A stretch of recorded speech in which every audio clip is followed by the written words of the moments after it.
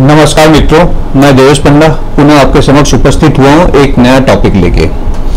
मित्रों, ये टॉपिक चालू करने से पहले मैं आपसे एक विनम्र प्रेम भरा निवेदन करना चाहूँगा।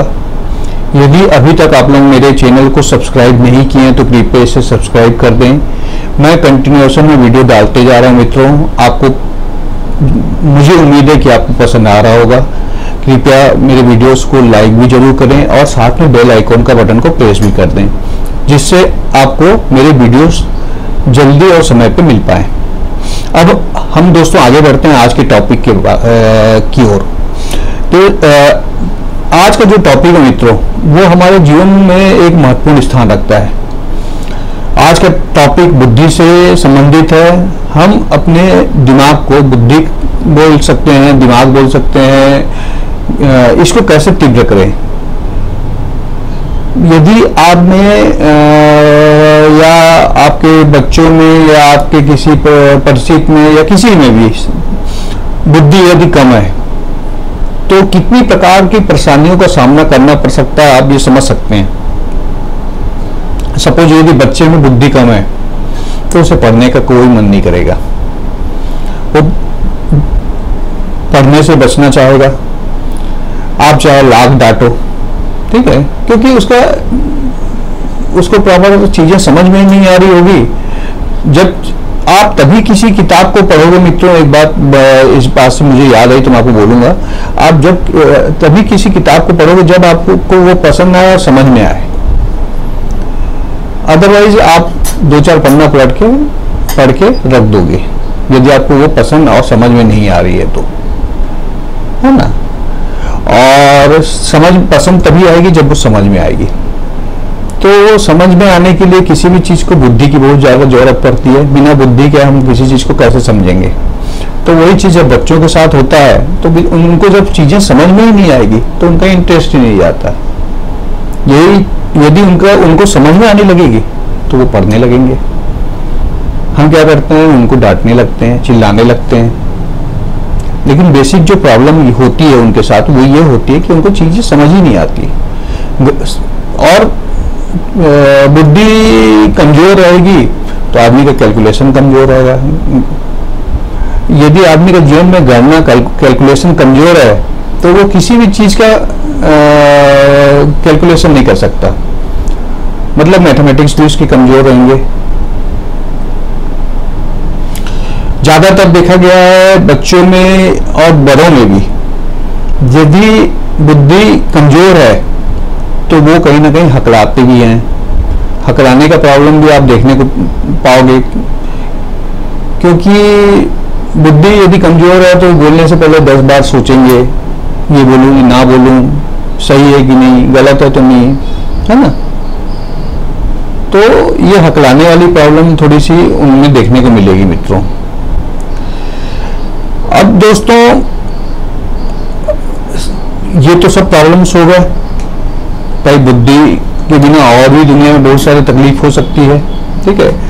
आप यदि जॉब कर रहे हो तो उसमें बुद्धि की ज़रूरत है।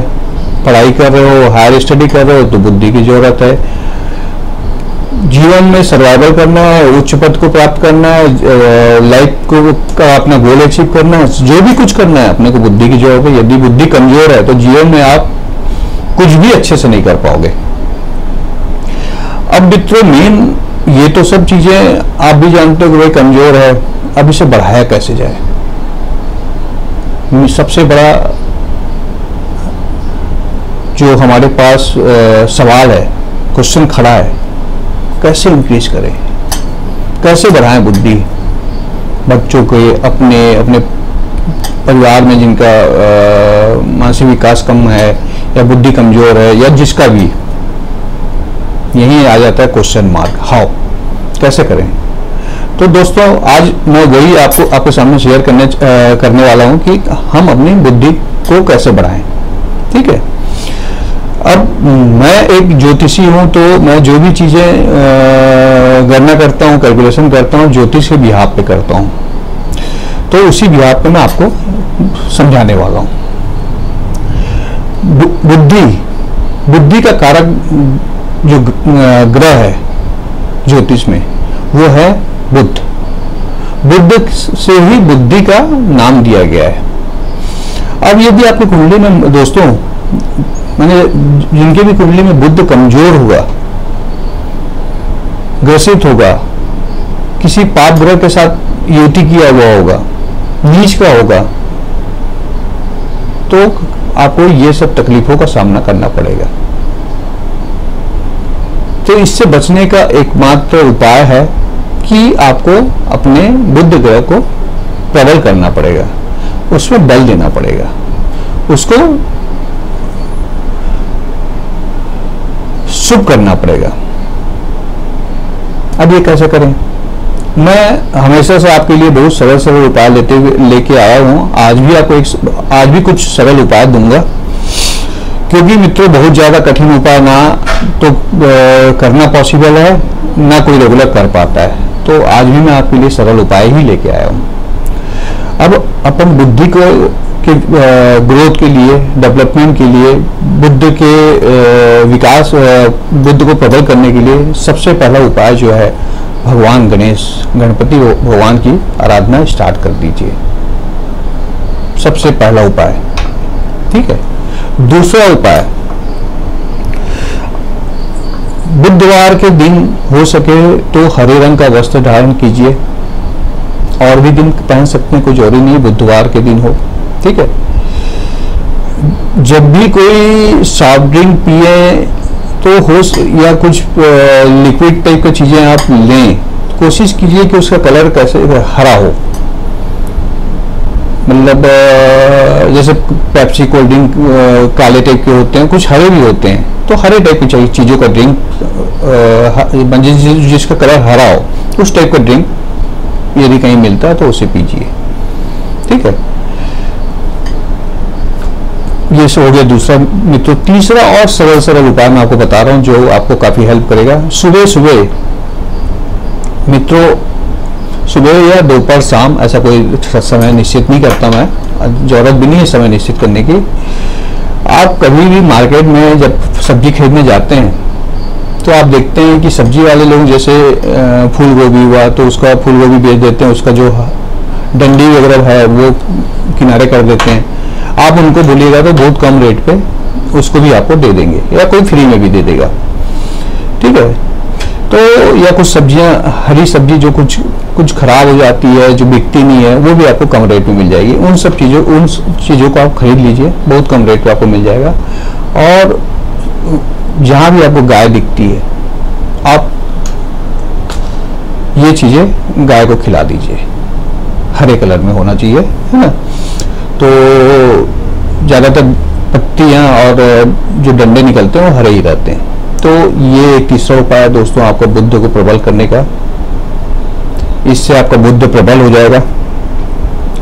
चौथा और एक अचूक उपाय बता, बताने जा रहा हूँ आपको दोस्तों।